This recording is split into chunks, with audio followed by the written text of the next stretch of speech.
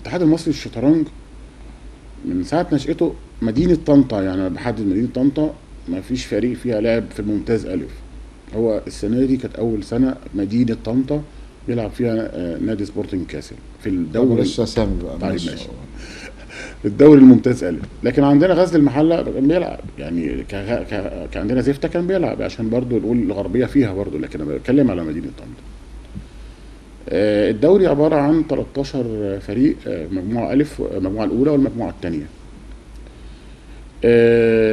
هو بنظام يعني الدور الواحد يعني.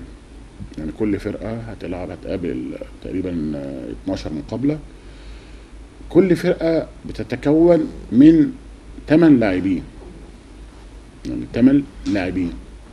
في عندنا ناشئين يعني تحت يعني 10 سنوات وفي ناشئين تحت آه، 18 سنة والباقي الأعمار يعني إيه متاحة.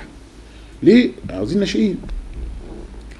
آه، المباراة بتبقى 8 لاعبين بيقابلوا ثلاث أربعة بيقابل بيقابل أربعة. ثمانية ثمانية بيقابلوا ثمانية يعني أنا مثلا C مثلا نادي في X مع مع نادي مثلا B بنقابل بعض. المقابلة عبارة عن فرقة ثمان لاعبين بس الناشئين بيلعبوا بعض والكبار بيلعبوا بعض.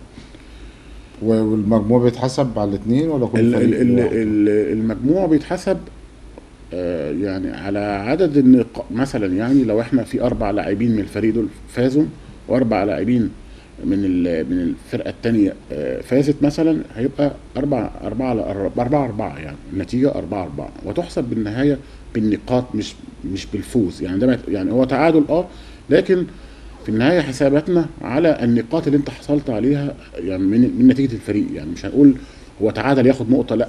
هو ده خد أربعة وده خد أربعة. خد أربعة أربعة فوز وأربعة فوز يعني. واصل حضرتك ولا؟ تمام. في نهاية بقى ال ال يعني ال ال الجولات بيحدد بقى البطل والوصيف وكده يعني. وبرده العدد ال 26 ده يعتبر كويس جدا يعني.